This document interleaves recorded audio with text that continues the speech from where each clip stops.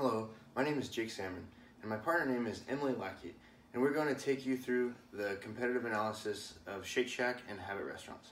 Both of these firms compete in the burger and restaurant industry and are heavy hitters in the market.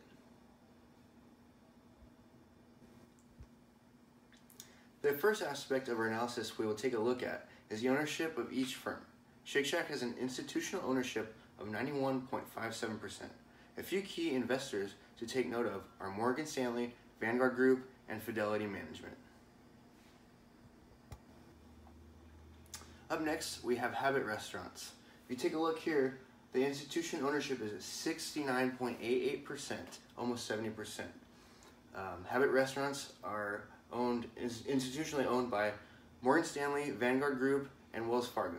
These big investment groups are important because when the CEO and executive teams for either Shake Shack or Habit are making decisions, the shareholders' best interest will always be in the CEO and executive team's top priority. The capital structure that is used by the executive team for any corporation is a very important and sensitive decision.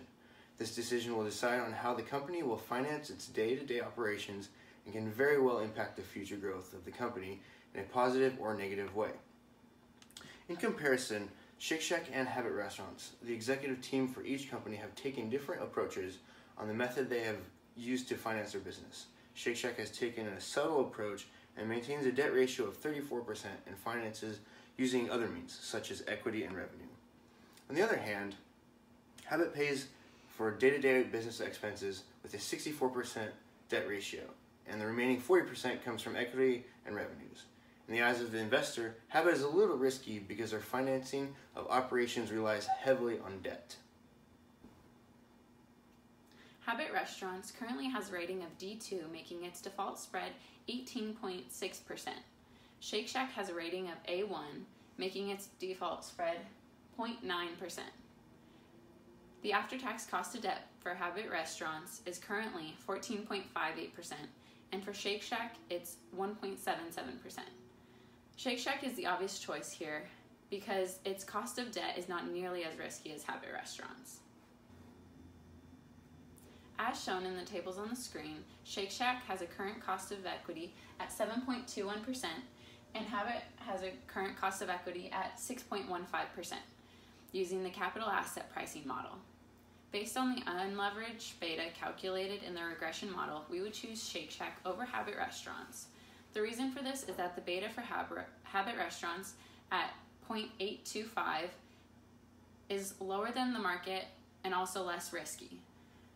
However, Shake Shack at a beta 1.23 is more risky but creates more return than the market.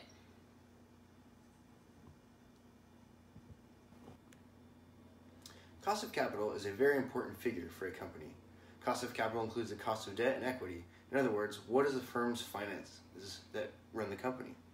As mentioned earlier, the cost of debt uh, for Shake Shack is at 1.5% and the cost of equity is at 10.27%. Um, Using Damodaran's model, we calculated that weighted average cost of capital to be 7.38%.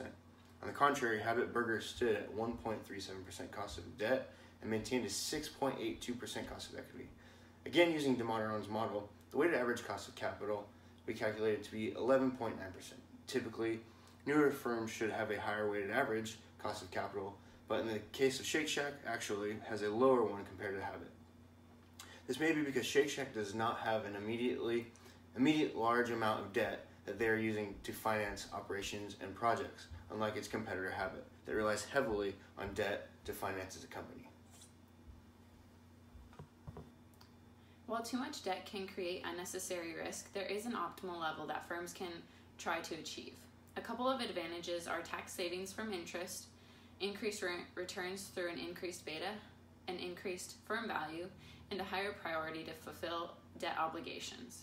A couple of the disadvantages include a higher risk of default, a larger mandatory payments, increased interest rates, and a loss of control of the assets.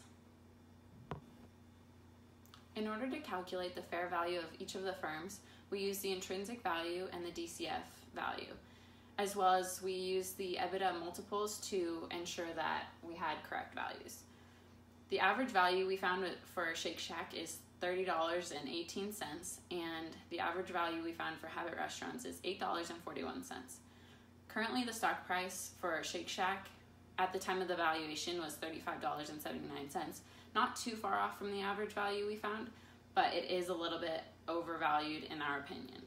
Habit Restaurants also is overval- overvalued with a stock price at $17.25 and an average value at $8.41. In conclusion, we would advise investors to choose Shake Shack over Habit restaurants based on the capital structure, beta, growth trends, and valuation models. In each of these categories, Shake Shack proved to have stronger future cash flows and future growth. The main problem we see with Habit's capital structure is that its debt exceeds its ability to provide achievable gains. Thank you.